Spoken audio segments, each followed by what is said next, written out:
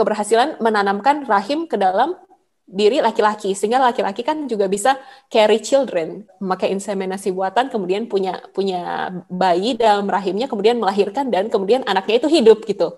Dan ini kan kisah nyata. Kalau misalnya laki-laki udah bisa melahirkan terus dia juga jadi pemimpin apa dong tugasnya perempuan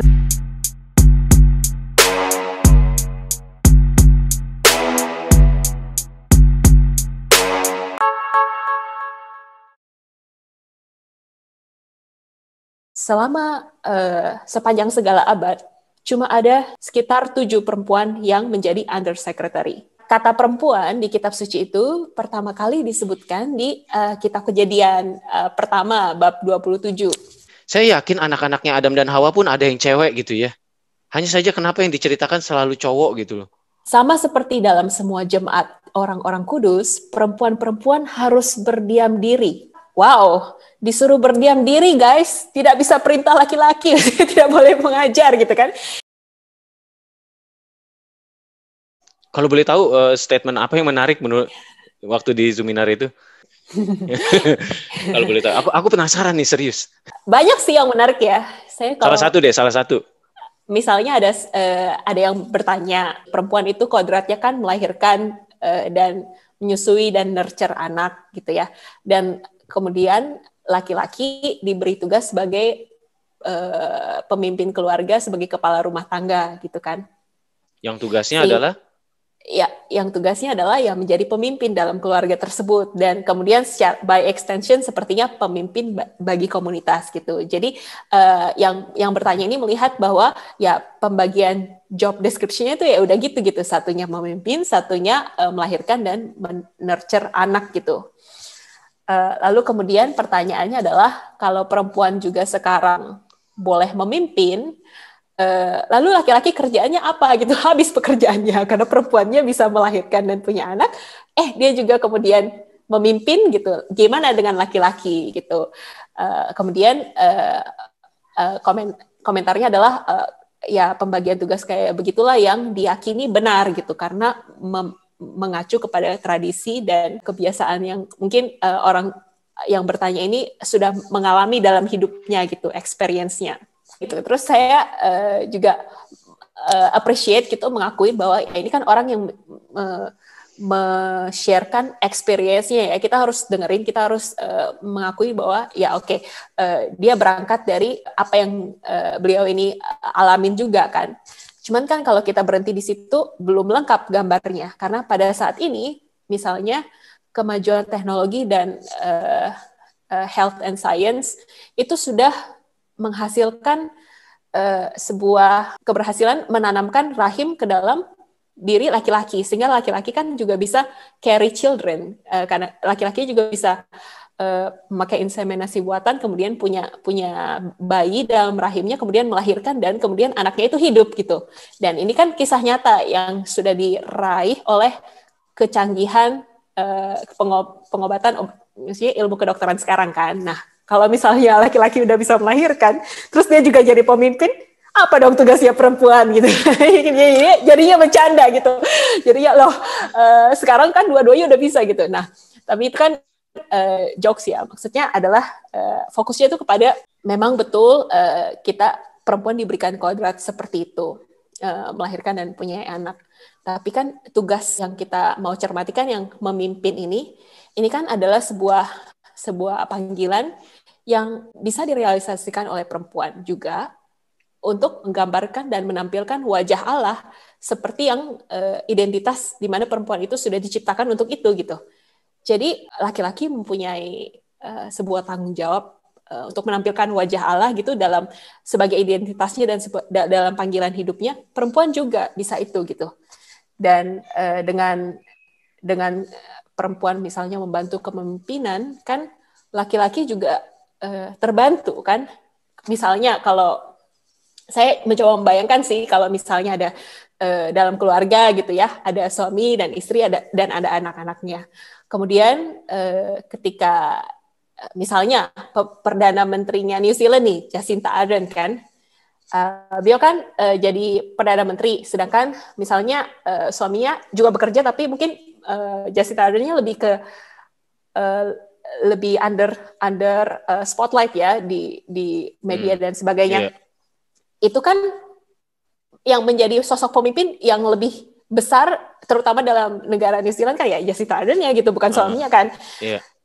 Tapi dalam rumah tangganya itu bisa bekerja gitu karena ada shared kind of uh, responsibility dan secara tidak langsung itu sebenarnya um, perempuan yang memimpin itu menciptakan sebuah opportunity untuk laki-laki untuk melakukan hal yang lain misalnya ketika uh, perempuannya lead ya laki-lakinya tuh bisa fokus on other things gitu yang juga equally valuable uh, yang saya bisa bayangkan misalnya um, pasti anaknya tuh kan mungkin dulu dulu kalau settingnya tradisional mungkin anak itu lebih dekat sama ibunya kan kalau misalnya bapaknya yang keluar menjadi pemimpin dan kind of not have that kedekatan dengan anak-anaknya. Tapi sekarang kalau misalnya uh, kepemimpinan itu di-share ketika perempuan itu juga memimpin, mungkin anak dan ayahnya ini mempunyai kedekatan yang lebih bermakna gitu, yang sebelumnya mungkin tidak di-allow uh, oleh situasi di mana bapaknya yang harus jadi pemimpin terus gitu. Jadi kalau shared leadership ini justru menurut saya adalah menciptakan opportunity yang lebih bisa jadi lebih bagus gitu dan um, dan lebih equal untuk uh, perempuan dan laki-laki. Gitu. Aku dengar uh, dari dari pengurus gitu ya kemarin waktu pas pengu, rapat pengurus uh, sempat cerita sedikit tentang seminar kamu katanya ada ini ya ada kas, beberapa kasus di mana teman-teman uh, wanita yang tidak ada kesempatan untuk uh, memimpin mereka terpaksa harus keluar dari istilahnya apa ya berpindah agama? Atau apa ya saya, saya apa salah saya salah nangkap ya? Jadi mereka keluar dari kekatolikan dan pindah agama untuk bisa mendapatkan chance menjadi pemimpin. Apa betul itu? Itu ada ada research di balik itu. Di Australian Bureau of Statistics itu kan ada produce data tentang female population dan percentage uh, dari uh, agama Katolik dari tahun 96 sampai 2016 yang kita alami adalah uh, total population-nya tuh tetap naik, tapi percentage dari Catholic women itu turun. Jadi kan ada sebuah uh, kejadian kita mau cari tahu nih kenapa alasannya itu kenapa gitu.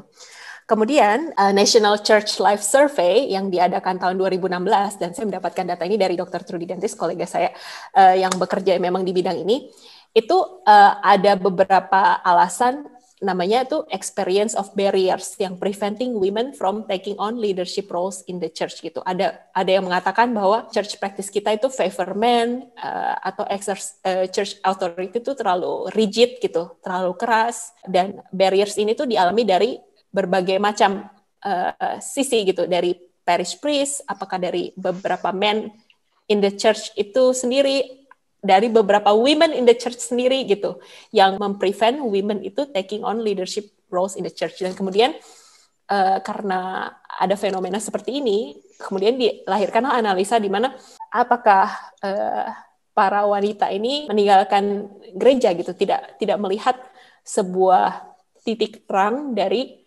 uh, sistem yang sudah terbangun seperti ini kayak nggak bisa ditembusin lagi gitu apakah ini kemudian menjadi alasan uh, perempuan itu uh, leave the church? Kalau saya pribadi melihatnya kan orang leave the church based on multiple reasons ya. Kita nggak bisa generalize gitu. Tapi yang kita bisa melihat adalah ya data menunjukkan bahwa semakin turun persentase uh, perempuan dalam gereja Katolik.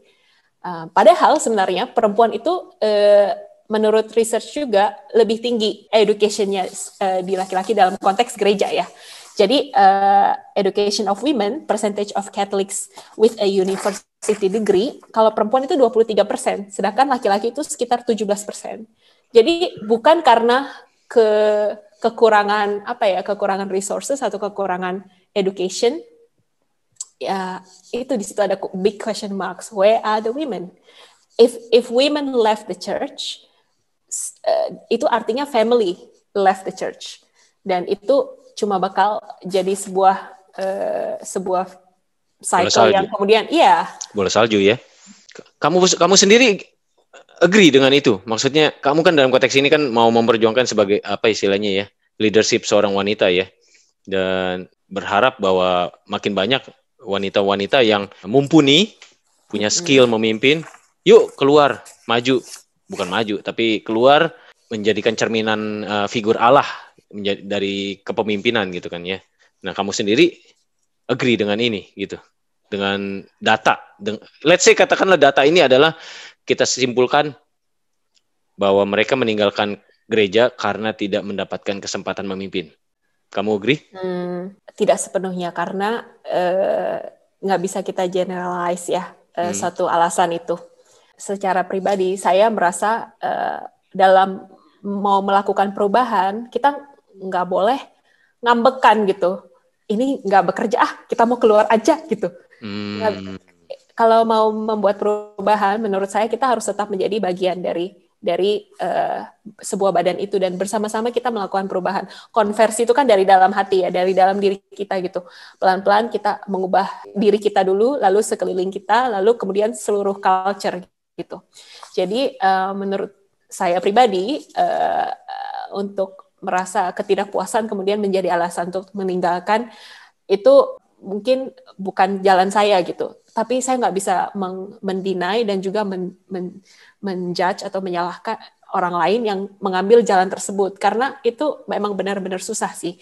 Eh, bagi beberapa orang kan terutama dalam experience mereka mungkin yang mereka alami itu udah nggak tahan lagi gitu. Mesti mesti pakai ambil jalan gitu gitu.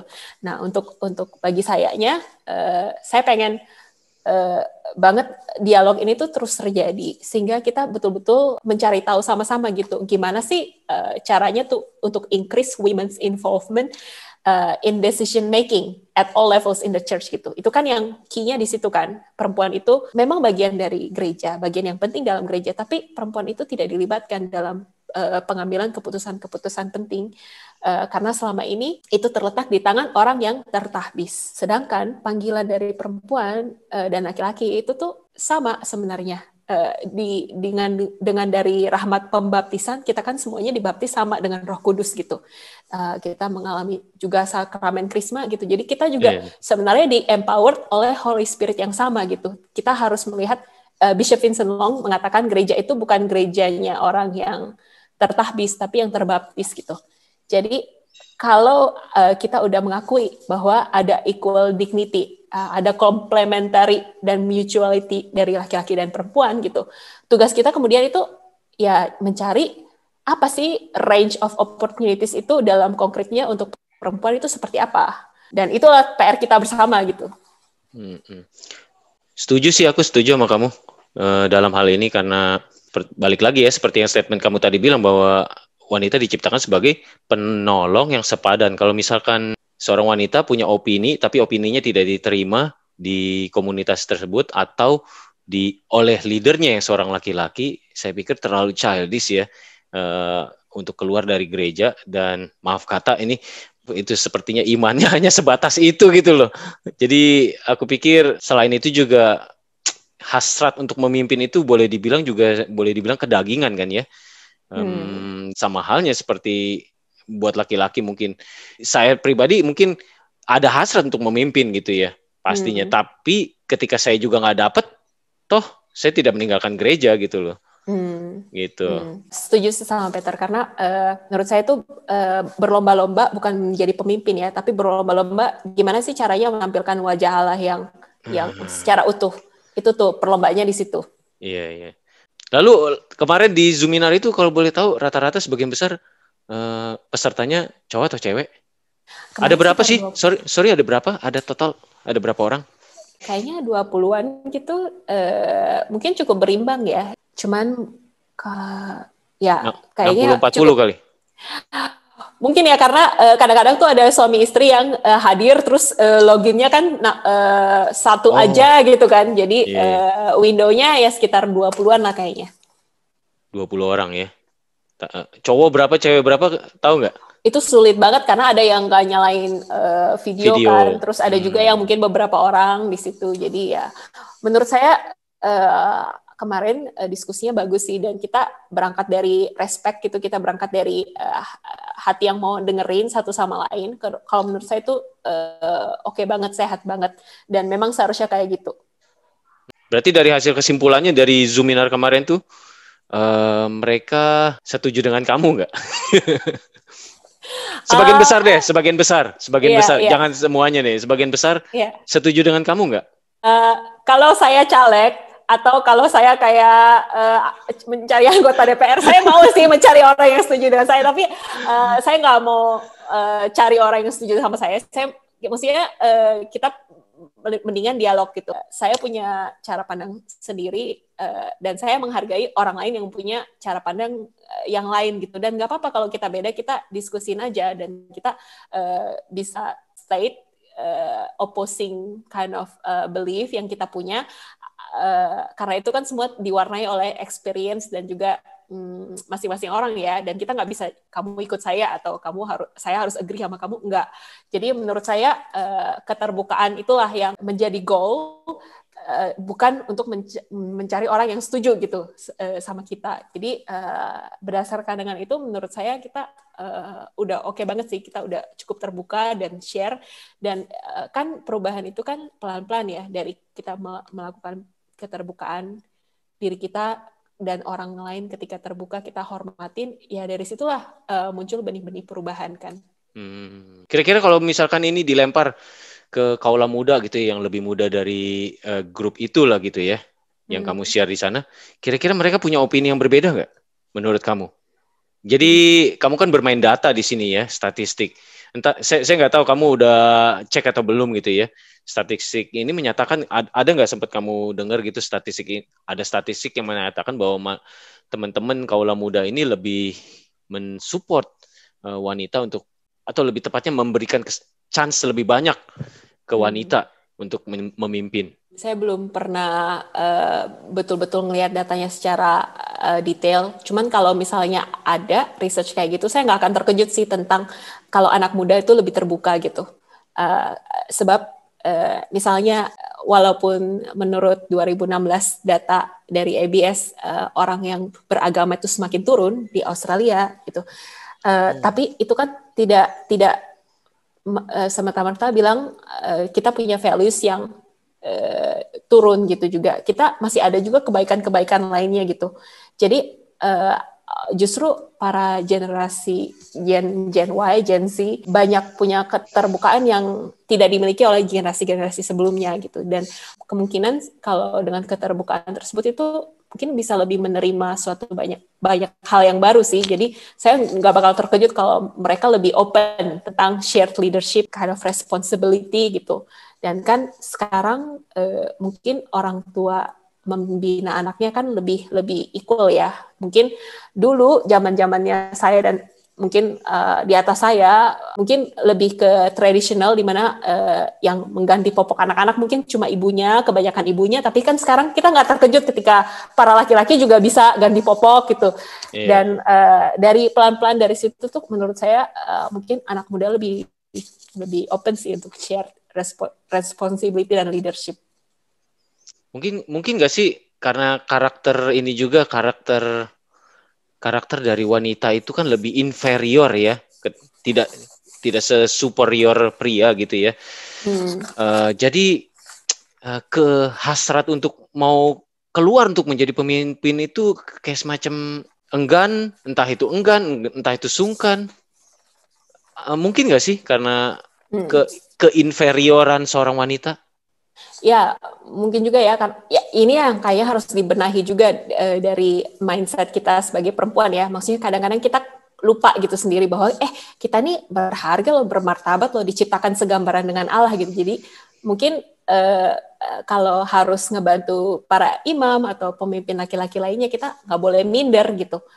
Mungkin ini sesuatu yang buat kita juga untuk nyadarin dalam diri kita gitu bahwa uh, kita sebenarnya penolong yang sepadan, kita equal. Emang tantangan buat diri kita juga sih sebagai perempuan. Berarti dari peserta yang kemarin nggak ada ribut-ribut ya? yeah, emangnya nak main bola terus habis main bolanya langsung jadi ada demo.